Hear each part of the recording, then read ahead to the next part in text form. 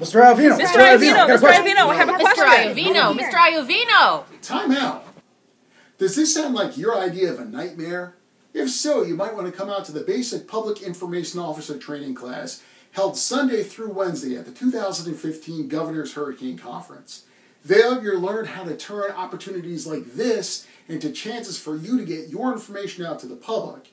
You'll also learn how to work better with your partners in the public information field and how to really craft the messages to get the word out. Remember, that's basic public information officer training held Sunday through Wednesday at the Governor's Hurricane Conference.